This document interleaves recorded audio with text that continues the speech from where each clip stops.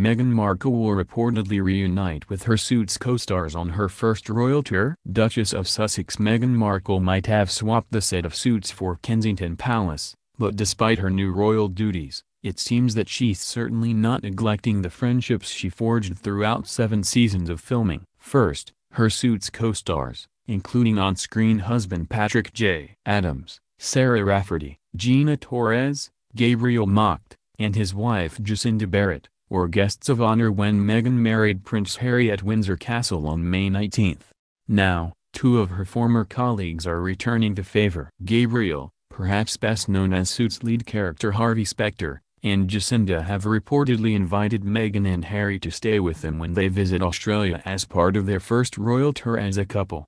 The new Duke and Duchess of Sussex have scheduled a trip to Sydney to coincide with the fourth Invictus Games, which they'll follow up with official visits to Tonga, Fiji, and New Zealand in their capacities as youth ambassadors to the Commonwealth. Once the games have wound down in Sydney, the Mirror has reported that the couple have a gap in their schedule when they'll have the chance to stay with Gabriel, Jacinda, and their children at their home in Noosa on the Sunshine Coast off Queensland.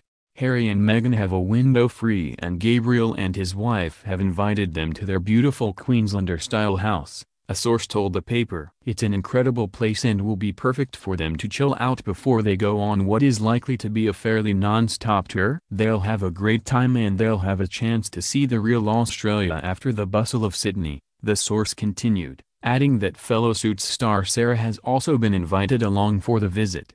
Join our Facebook group for the latest updates on Kate Middleton, Prince William, and all things royal. This post was written by Katie Rosseinsky. It originally appeared on our sister site, Grazia Daily.